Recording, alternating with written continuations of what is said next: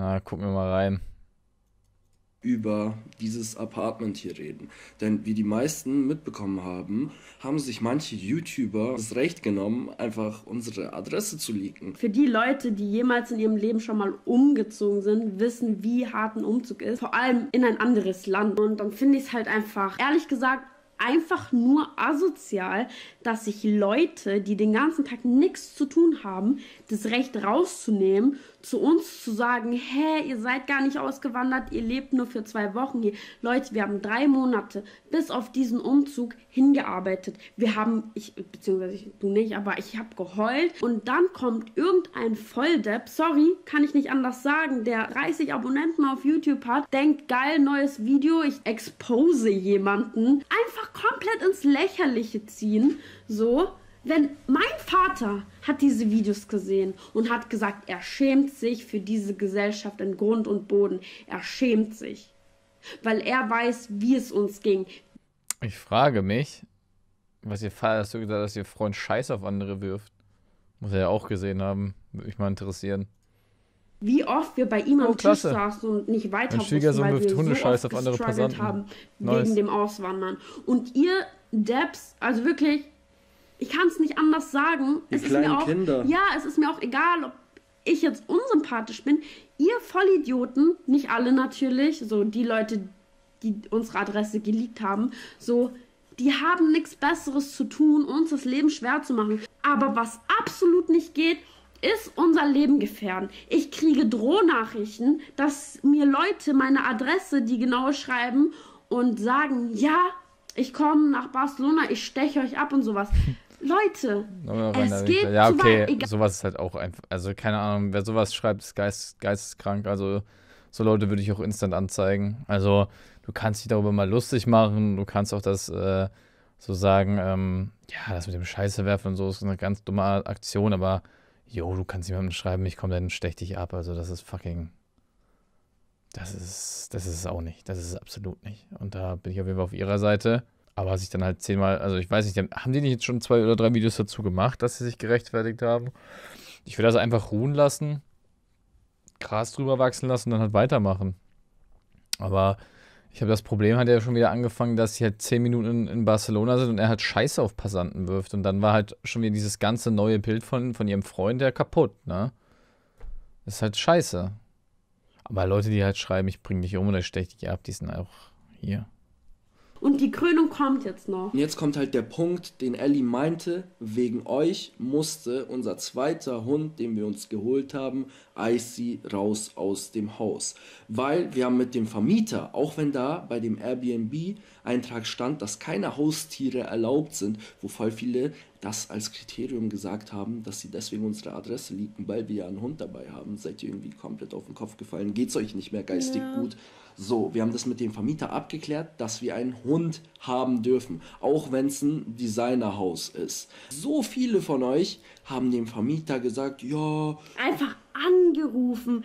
Wie kann man die Nummer raussuchen vom Vermieter, nicht mal von der Vermittlung, einfach den Vermieter höchstpersönlich anrufen und, und belästigen. ja, belästigen und sagen, ja, die, die machen YouTube und die zeigen das ganze Haus und die haben sich noch und die haben zwei Hunde und dies und das und da ist einfach der Punkt gekommen, wo er so viele anruft, wo sie so viel. Das ist halt also, also bei aller Liebe, da verstehe ich auch die beiden. Also what the fuck, guck mal, die haben, die haben, also man kann sagen, man kann von denen halten, was man will. Das ist jetzt meine Meinung. Man kann von beiden halten, was man will von den Aktionen. Aber das Ding ist ja, sie haben ja den Hund aus so, einem, aus so einer Glasscheibe rausgeholt, aus einem 1 Quadratmeter Ding und das war super nice und die kümmern sich auch um ihren Hund, das sieht man ja auch an Taro.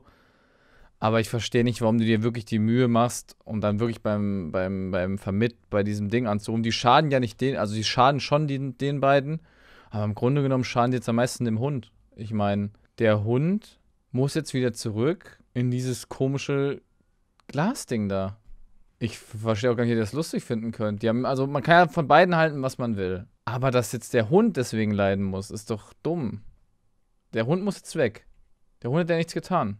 Der Hund hat ja nichts getan. Und warum, also ich kann, ich kann Leute nicht verstehen, äh, die einfach, also es tut mir leid, das zu sagen, ihr müsst schon ein Versager sein und in eurem Leben wirklich, wirklich, wirklich armselige Würstchen sein, wenn du wirklich eine Nummer raussuchst von dem Vermieter, dass der Hund wegkommt. Also wie, wie wenig Selbstachtung hast du vor dir selbst und wie, und wie, wie viel Freizeit hast du denn und was bist du für ein ultimativer Versager? Was die beide machen, ist super oft falsch. Auf jeden Fall. Aber der Hund macht euch nichts. Der Hund hat nichts in dem Haus gemacht. Der Hund wurde aus dem Tierheim geholt, wo es ihm wahrscheinlich schlecht. Was heißt schlecht ging? Also nicht gut. Die haben den rausgeholt, die kümmern sich um Taro, die haben sich um den gekümmert. Das sage ich jetzt mal so, man sieht, Taro hat was gelernt, Taro, dem geht's gut. Das sieht man einfach. Warum muss man denn jetzt dann da so auf Krampf den Typ dann terrorisieren, dass jetzt der Hund ist jetzt weg? Das ist doch schade. Wenn, also das Ding ist, also was wirklich stimmt, ist, dass, sie, dass in dem Haus kein äh, Hund erlaubt ist. Das ist das Ding. Jetzt ist die Frage, weil sie halt schon so viel gelogen haben, haben sie vielleicht den Hund trotzdem wieder abgegeben, weil sie keine Zeit haben und keine Lust. Das glaube ich jetzt aber nicht. Also wenn sie jetzt das wirklich lügen würden, dann wäre wirklich Feierabend. Viele Anrufe bekommen hat und ja. uns tatsächlich angerufen Ich glaube schon, dass sie ihn abgeben gesagt, mussten. Morgen ist der zweite Hund weg. Belästigt irgendwelche Weiber und will dich. Das ist aber auch bei Trimax so, bei seiner Reaction mit seinen irrelevanten Freunden, die daneben sitzen und versuchen, auf Krampf lustig zu sein. Ja. Habe ich hier Schüsse gegen Rumatra gehört? Habe ich hier Schüsse gegen Rumatra gehört? Er meint dich, ich habe nicht einmal mit Max, ich habe nicht einmal mit Max auf Dings reagiert. Ich, ha, ich habe ich hab nicht einmal mit Max äh, auf Cymax reagiert. Ich habe nichts, ich, hab, ich war nicht bei der Reaction dabei. Ich war bei der Reaction nicht dabei. Rumatra und Cymax Beef kommt. Yes, man, Alter. Gibt's wieder, gibt's wieder fucking Spice. Wir brauchen, Leute, es muss losgehen. Der Beef wird ins Rollen gebracht, Alter. Der, Junge, ich sehe schon kommen. Rumatra gegen Cymax, der zweite Kampf. Der muss nach Vlesk nochmal in den Ring gegen Cymax, Alter. Und Cymax hat dann Code an, an, an den Dings, hat dann Code an den ähm, Boxhandschuhen und schlägt um sich. Nur Bilder. Leute, jetzt! Es fliegt niemand so. Aber was ist im Sommer? Wir haben, Neue das, Sehenswürdigkeit. wir haben das Haus für einen langen Zeitraum gemietet. Wir sind nicht nur zwei Wochen da drin. Wir haben so viel über. Bei Gott, also ich kann, also ich weiß es nicht, aber keiner fliegt doch extra darüber, um Cymex zu nerven, oder? Gibt es solche Loser? Vor allem in Corona-Zeiten kann ich mir nicht vorstellen, dass da Leute jetzt extra hinfliegen. Dann holen wir uns dann, dann, dann holen wir uns etwas anderes, was nicht bei Airbnb überhaupt drin ist, weil das war irgendwo auch unser Fehler, dass wir nicht Ganz kurzer Flex. nachgeschaut haben, ob man das irgendwo finden kann. Trotzdem muss man nicht die Dreistigkeit besitzen ja, und das es so gar liegen. Nicht. Das ist, so, Ey, bei Gott, jetzt mal ehrlich, glaubt dir, glaubt dir, dass da wirklich jemand, also ich kann mir nicht vor, also Du bist doch nicht so, also du bist doch nicht so dumm und fliegst extra nach Barcelona und suchst das Haus von Cymax, oder?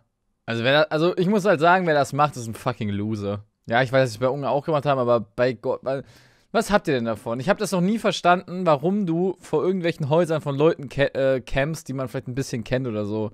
Also bei aller Liebe, wer, wer, wer, wer, irgendwie, wer irgendwie nach Barcelona fliegt oder so, um die beiden zu nerven, ist halt auch nicht, halt auch nicht alle Latten am Zaun.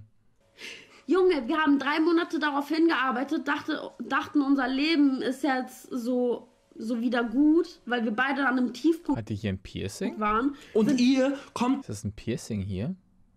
Dann, für ein paar Klicks kommen irgendwelche YouTuber. Und machen unser Leben so kaputt, so. Keine Ahnung, das ist. Und versuchen quasi, wenn man schon ganz am Boden liegt, nochmal richtig drauf zu treten. Und da denke ich mir so, einfach nur, ey, findet ihr das jetzt mal an die YouTuber, die jetzt hier drauf auch reagieren? Ihr seid der Grund dafür, wieso unsere Adresse so publik wurde, wieso wir Aha. nachts schlecht einschlafen und Angst haben müssen, dass irgendwelche Psychopathen kommen und wirklich uns abstechen. Findet ihr das wirklich gut? Also wie gesagt, nochmal Leute, also ich, ich stehe nicht hinter dem, was Cymex macht oder ich feiere das auch gar nicht so.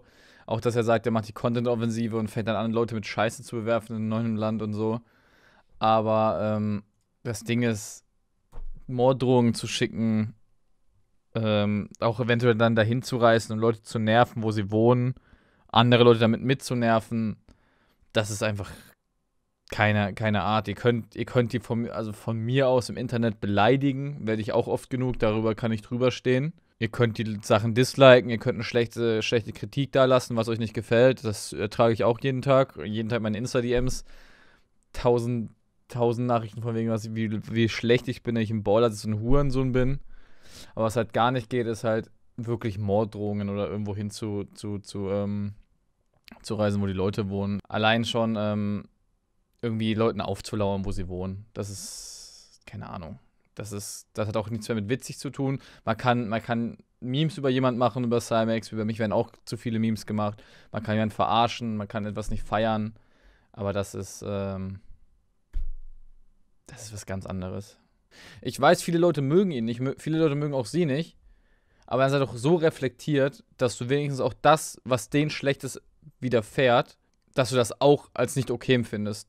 Weil vorhin haben ja auch wieder bei mir welche im Chat geschrieben, das kann ich auch gar nicht supporten und eigentlich wäre das auch für mich eigentlich auch ein Banngrundmods, wer da nochmal reinschreibt, dass das verdient ist, dass sie alle alles Schlechte wünschen, dass sie sagen, das ist okay, dass denen das passiert. Das ist nicht okay. Es ist absolut nicht okay. Ich würde euch gern wissen, ich würde euch gern sehen, wenn eure Schwester, Bruder, Mutter, Vater, Cousine, whatever heimkommt und sagt, ey, ich habe eine ne Post bekommen, ich habe eine Nachricht bekommen, jemand will mich abstechen, jemand will mich umbringen, egal was da drin steht. Ich will euch gerne sehen, wie ihr dann da steht und dann kommt noch ein Freund zu euch, der sie gar nicht mag oder ihnen sagt, ey, das finde ich voll okay, das, das machen wir. Nee, oder was ist das machen wir?